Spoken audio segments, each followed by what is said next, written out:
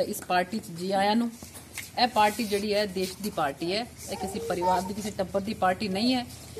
ਮੈਨੂੰ ਬਹੁਤ ਇਸ ਗੱਲ ਦੀ ਖੁਸ਼ੀ ਹੈ ਕਿ ਪਰਮਪਿਤਾ ਪਰਮਾਤਮਾ ਦਾ ਵਾਹਿਗੁਰੂ ਦਾ ਆਸ਼ੀਰਵਾਦ ਹੋਇਆ ਹੈ। ਅੱਜ ਪਾਰਟੀ ਨੇ ਮੇਰੇ ਤੇ ਵਿਸ਼ਵਾਸ ਵਿਅਕਤ ਕਰਕੇ ਸਾਡੇ ਜਿਹੜੇ ਵਰਿਸ਼ਠ ਨੇਤਾ ਨੇ, ਸ਼੍ਰੀ ਪ੍ਰਧਾਨ ਮੰਤਰੀ ਸ਼੍ਰੀ ਨਰਿੰਦਰ ਮੋਦੀ ਜੀ, ਅਮਿਤ ਭਾਈ ਸ਼ਾਹ ਜੀ, ਸਾਡੇ ਮੁੱਖ ਮੰਤਰੀ ਸ਼੍ਰੀ ਮਨੋਹਰ ਲਾਲ ਜੀ, ਪ੍ਰਦੇਸ਼ ਅਧਿਕਸ਼ ਸੁਭਾਸ਼ ਬਰਾਲਾ ਜੀ ਤੇ ਸਾਰੇ ਜਿੰਨੇ ਵੀ ਸਾਡੇ ਵੱਡੇ ਵਰਿਸ਼ਟ ਨੇਤਾ ਨੇ, ਉਨ ਸਾਰਿਆਂ ਨੇ ਮੇਰੇ ਤੇ ਵਿਸ਼ਵਾਸ ਵਿਅਕਤ ਕਰਕੇ ਮੈਨੂੰ ਇੱਥੋਂ ਬੀਜੇਪੀ ਦੇ ਟਿਕਟ ਦਿੱਤੀ ਹੈ। ਮੈਨੂੰ ਪੂਰੀ ਉਮੀਦ ਹੈ ਕਿ ਤੁਸੀਂ ਸਾਰੇ ਜਿਵੇਂ ਤੁਸੀਂ ਮਿਹਨਤ ਕਰਕੇ ਆਈਐਨਐਲਡੀ ਨੂੰ ਆਈਐਨਐਲਡੀ ਜਿਹੜੀ ਹੈ ਉਹ ਪਾਰਟੀ, ਕਾਰਜਕਰਤਾ ਦੀ ਪਾਰਟੀ ਕਹੀ ਜਾਂਦੀ ਹੈ ਕਿ ਕਾਰਜਕਰਤਾ ਜਿਹੜੇ ਨੇ ਨਾ, ਉਹ ਬਹੁਤ ਸਟਰੋਂਗ ਬੜੇ ਤਗੜੇ ਕਾਰਜਕਰਤਾ ਆਈਐਨਐਲਡੀ ਬੜਾ ਮੁਸ਼ਕਿਲ ਕੰਮ ਹੈ ਕਿ ਉਸ ਪਾਰਟੀ ਦੇ ਕਾਰਜਕਰਤਾ ਨੂੰ ਤੁਸੀਂ ਤੋੜ ਕੇ ਆਪਣੀ ਪਾਰਟੀ 'ਚ ਲੈ ਕੇ ਆਓ।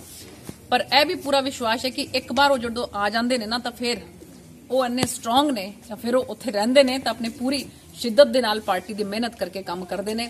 ਅਸੀਂ ਦੇਖਿਆ ਚਾਹੇ ਆਪਣੇ ਇੰਦਰ ਗਾਵੜੀ ਜੀ ਹੋਣ, ਇਹ ਪਿਛਲੇ ਕਈ ਸਾਲਾਂ ਤੋਂ ਮੇਰੇ ਨਾਲ ਨੇ, ਤਾਂ ਮੈਨੂੰ ਬਹੁਤ ਤਾਕਤ ਮਿਲਦੀ ਹੈ ਕਿ ਇੰਦਰ ਜੀ ਜੇ ਮੇਰੇ ਨਾਲ ਨੇ, ਤਾਂ ਮੈਨੂੰ ਚਿੰਤਾ ਦੀ ਕੋਈ ਲੋੜ ਨਹੀਂ ਹੈ। ਕਿਸੇ ਕੋਈ ਵੀ ਕੰਮ ਹੋਏ, ਮੈਂ ਇੱਕ ਵਾਰ ਕਹਿ ਦਾਂ ਕਿ ਇੰਦਰ ਜੀ ਇੱਥੇ ਕੰਮ ਹੈ, ਤਾਂ ਆਪਣੇ ਆਪ ਉਹ ਸਾਰਾ ਕੰਮ ਸੰਭਾਲ ਲੈਂਦੇ ਨੇ। ਐਸੇ ਕਰਕੇ ਮੈਨੂੰ ਪੂਰੀ ਉਮੀਦ ਹੈ ਕਿ ਜਿਹੜਾ ਖੈਰਪੁਰੀਆ ਪਰਿਵਾਰ ਆਇਰਲੈਂਡ ਨੂੰ ਟਾਟਾ ਬਾਏ ਬਾਏ ਕਰਕੇ ਹੁਣ ਸਾਡੀ ਬੀਜੇਪੀ ਪਾਰਟੀ ਚ ਆਇਆ ਹੈ।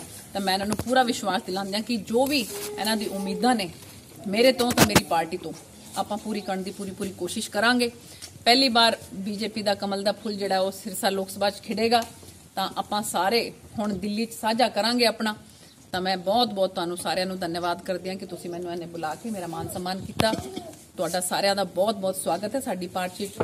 ਜੀ ਆਇਆਂ ਨੂੰ ਬਹੁਤ ਬਹੁਤ ਧੰਨਵਾਦ। ਭਾਰਤ ਮਾਤਾ ਕੀ ਜੈ ਬਹੁਤ ਬਹੁਤ ਧੰਨਵਾਦ